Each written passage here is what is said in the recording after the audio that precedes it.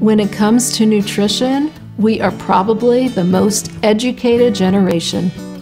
The chicken given antibodies looks just like free range grain fed poultry, and organic bananas look just like regular ones.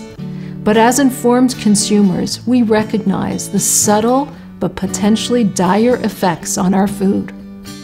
So, do we ever consider how our food affects us spiritually? This week's Parsha introduces the Torah's dietary laws. Kosher animals must have split hooves and chew their cud. Fish need fins and scales, and there is a list of forbidden fowl. Perhaps these requirements teach us our food's spiritual profile. The non kosher animal's closed hoof represents a spiritual quality of rigidity, being closed off to the plight of others. The kosher animal's split and open hooves teach us to be approachable and receptive to growth.